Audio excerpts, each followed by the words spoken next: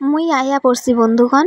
তো আমার যে সমস্ত বোনরা এখনও বিয়ে থা করে নাই, তাগো উদ্দেশ্যে কইতাছি, এই যে বাপের ঘরে ঝিঙা কাটা ঝিঙা কাটা নিয়ে মায়ের সাথে দ্বন্দ্ব করো। কও কি আমি ঝিঙা কাটতে পারি না? ঝিঙার খোসাগুলা কাটতে কেমন জানি অসুবিধা হয়। তারা সৌর বাড়ি গিয়া কি করবা? সৌর বাড়ি গিয়া শাওরির সাথেও কি এরম ঝগড়া করবা? সেইটা তো সম্ভব না, তাহলে তো লোকে খারাপ বলব। হ্যার লাইগা, আমি কইতাছি, এই ঝিঙার খোসাগুলা বেশ গা বাদাইয়া বাদাইয়া চুলা ফেলাইতে হইবে। কেননা, এই ঝিঙার খোসা দিয়াও কিন্তু একটা মজার রান্না করা যায়। যা খাইলে পরে শহর বাড়ির লোক হাত ধইরা চুমা খাইবে। তো যেটা করলাম ওই ঝিঙার খোসাগুলা পুরো পুরো করে কাইটা ফেলাইলাম, চুইলা ফেলাইলাম।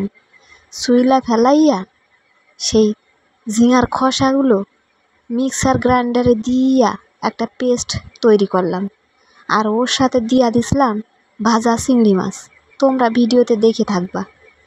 তো আর কাইটা নিয়েছিলাম পেঁয়াজ, লঙ্কা, আদা, রসুন সব চুইলা, বাইটা, বুইটা সব জোগাড় কইরা কড়া বসাইয়া, কড়াই তেল দিয়া, তাতে একটু জিরা ফোড়ন দিয়া, তাতে ওই মশলার পেস্ট দিয়া কষাইয়া, এইবার দিয়া দিছি ওই ঝিঙার খোসার পেস্ট এবার ঝিঙার খোসার পেস্টটা দিয়া ভালো কইরা নাড়াইয়া চাড়াইয়া ভালো কইরা ভাজাভাজি ভাজাভাজি কইরা নিতে হইব।